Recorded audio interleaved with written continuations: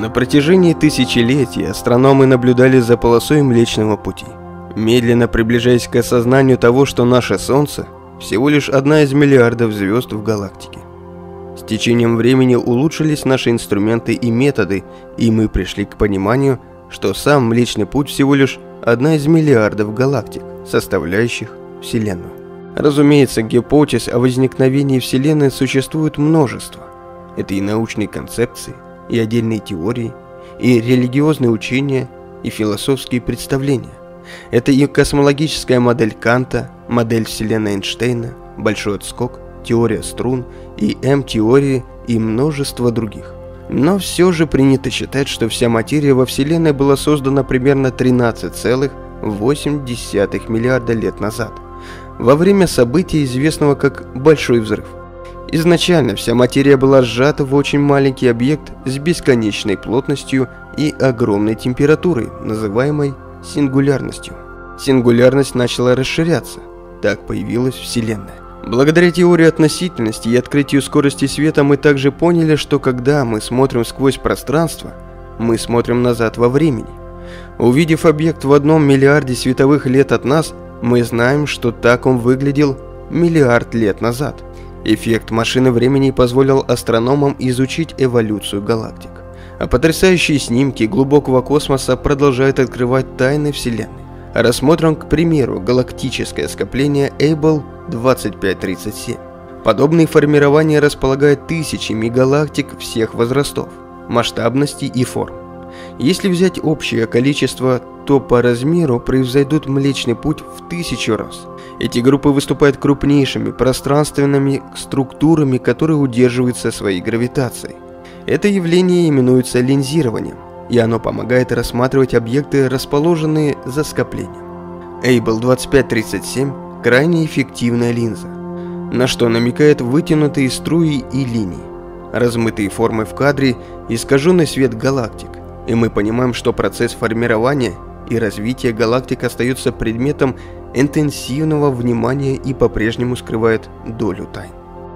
Однажды, сформировавшись, эти галактики развились в более крупные галактические структуры, называемые группами, скоплениями и сверхскоплениями. С течением времени галактики притягивались друг к другу силой тяжести и объединялись. Результат этих слияний зависел от массы столкнувшихся галактик. Вселенная заполнена галактиками разного размера и разных масс – известно только приблизительное количество. Не так давно орбитальный телескоп Хаббл за три с половиной месяца обнаружил около 10 тысяч галактик. Сканировав в южном созвездии Печи участок небосвода в сто раз меньше, нежели площадь лунного диска. И если предположить, что галактики распределяются по небесной сфере с такой же плотностью, получается, что в наблюдаемом космосе их около 200 миллиардов.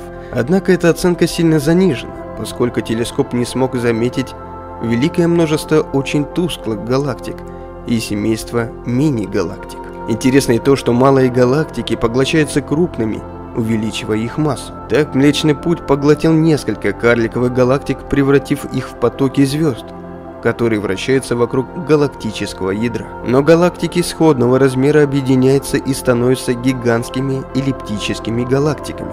Когда это происходит, тонкие спиральные структуры исчезают. Эллиптические галактики являются одними из крупнейших звездных объединений. Еще одним последствием этих слияний является то, что сверхмассивные черные дыры в их центрах становятся еще больше. Во время слияния реальные столкновения звездных систем маловероятны, учитывая огромные расстояния между светилами. Однако слияние может привести к гравитационным ударным волнам, которые способны спровоцировать образование новых звезд.